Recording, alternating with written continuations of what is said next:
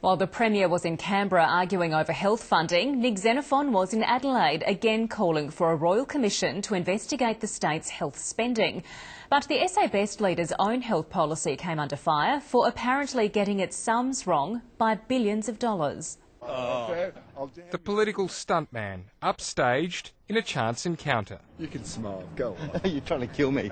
Cory Bernardi wasn't the only Conservative figure raising eyebrows at Nick Xenophon's health policy launch.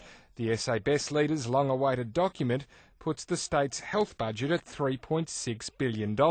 If there's another budget bottom line, I'll happy to stand corrected. There is $5.9 billion, almost a third of the entire state budget. Wouldn't be too hard to find. I'm sure you could all spend a couple of minutes on Google and see it. Well, the government has just strengthened my case that there's even greater urgency for a Royal Commission, uh, but I'm relying on the budget papers and, uh, uh, and maybe I should have done this. Uh, I relied on some journalists. In fact, the number Mr Xenophon quoted is the cost of delivering health without federal grants or revenue from private patients factored in. And one would have thought if they're releasing a health policy, uh, that's a number they'd get right. The fact that the only figure in the whole press release is a 40% understatement of the state spending on health shows that Nick Xenophon is not worthy to be, to be Premier of this state. The policy landed hours after the Nurses Union stepped up its campaign against the fledgling party.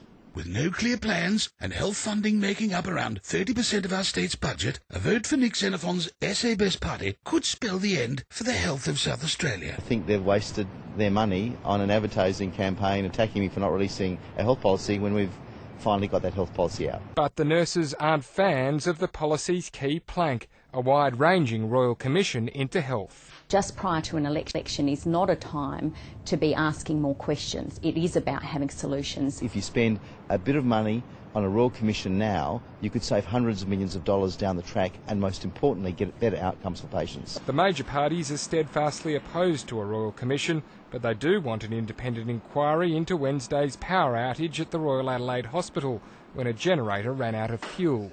The ministers appointed an engineering firm to lead the inquiry and has stopped short of expressing confidence in the hospital's private operator, Celsus. Look, it's very difficult um, for a circumstance like this to, to present itself uh, without uh, causing significant concern. What is clear is that the relationship between uh, between Celsus and the government is toxic. The minister says the tone of his meeting with the consortium today was professional. Nick Harmsen, ABC News, Adelaide. Five